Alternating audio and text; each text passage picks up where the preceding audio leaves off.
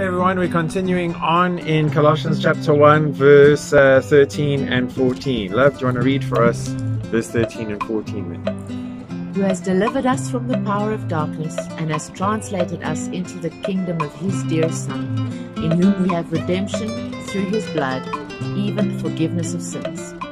So we, we looked at how we are delivered from the kingdom of darkness. That's a past tense thing.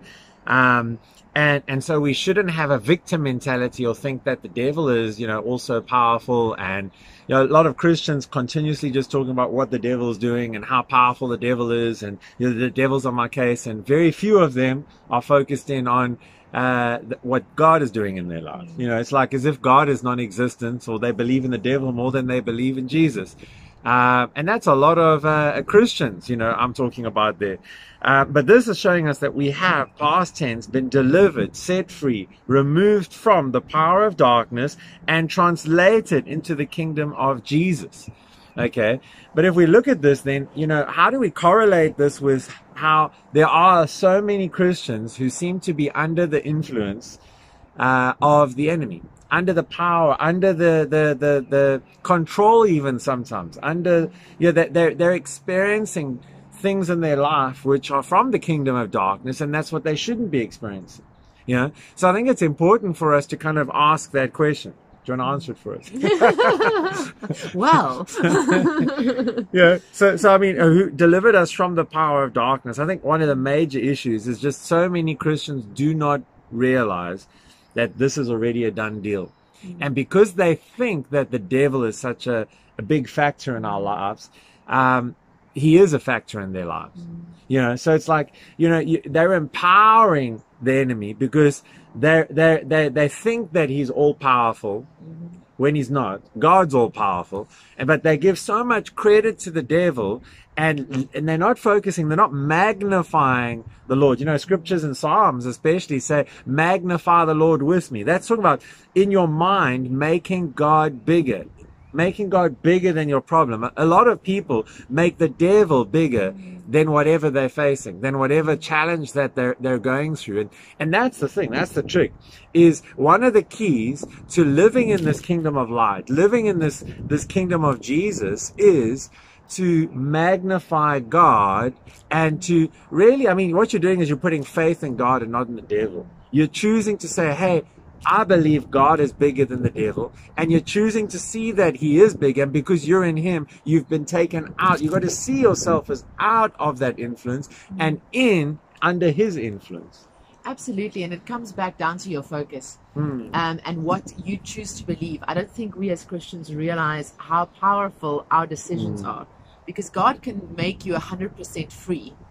But if you choose to believe that you're in bondage, mm.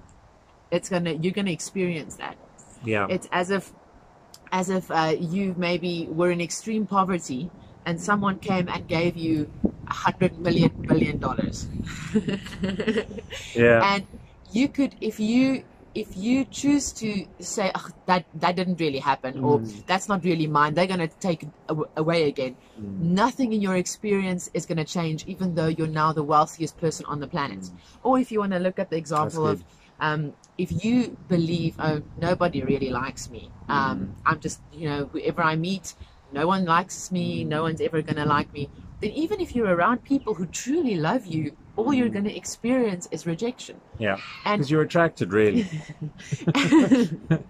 Even if you're not being rejected, and because you're, you're, because the thing is, is you're rejecting yourself. Mm. And so, you know, you kind of like seem to attract it then, mm. and you even like uh, uh, seem to discern or perceive rejection, even when there isn't rejection. Yeah, even when it's when when it's not true. So when it comes to being being delivered from darkness mm. and translated into the, the kingdom of light, I think so often we don't realize it maybe, but mm-hmm. we're still seeing ourselves as being uh, under oppression, being, like Shane mm. said, victims, um, being victims to the enemy, being victims to other people's decisions.